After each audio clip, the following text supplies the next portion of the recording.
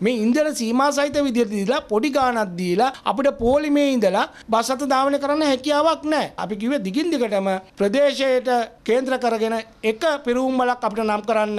ඒ පිරුම් වලින් අපිට ඉන්දන ලබා ගැනීමට හැකියාව තියෙන අපිට වෙන්නේ අකමැත්තෙන්වත් ඉදිරි දින කිහිපය තුළ මේ ධාවනය වෙන බස් ටිකවත් ධාවනයෙන් ඉවත් කරගන්න. විශේෂයෙන්ම පෞද්ගලික බස් අතවලට QR කෝඩ් එක කියන එක අපි එදා කිව්වා අපිට ඒක අදාළ කරගන්න එපා කියලා අමාත්‍යවරයාට. එවැනි හැකියාවක් නැහැ අපේ බස් අත සේවක මාතුන්ට බස් අත හිමිකරුවන්ට ඒ දේවල් කරන්න අවශ්‍යතාවයකුත් නැහැ. අපි රටේ අත්‍යවශ්‍ය සේවාවක් කරන පුද්ගලයෝ.